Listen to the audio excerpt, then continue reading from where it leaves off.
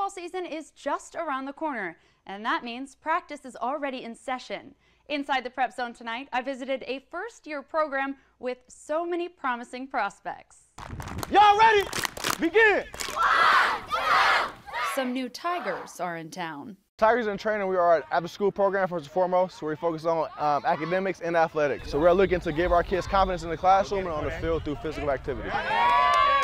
Coach Nico Heron is a former Bulldog with a focus on giving back to the Central Valley. Fresno is the heart of the valley, it's the heart of California. So I feel like in Fresno, you can touch all parts of California. Everybody fall in! Fall in!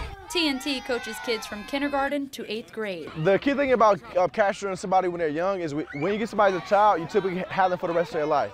Are y'all ready to go? Let's go. Yeah, we run, we run at Cali.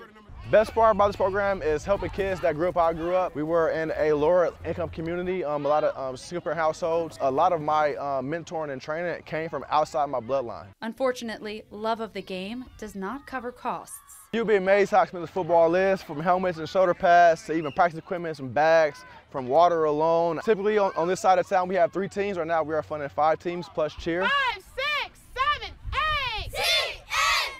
All help with the Tigers is on a volunteer basis. TNT started a GoFundMe to help get its first year program off the ground.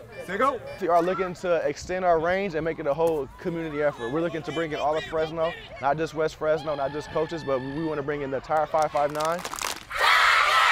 We are here today, raising tomorrow. You can find more information about the Tigers in Training program and a link to their GoFundMe on our website at kmph.com. The Tigers have their first games on August 21st at Edison High School.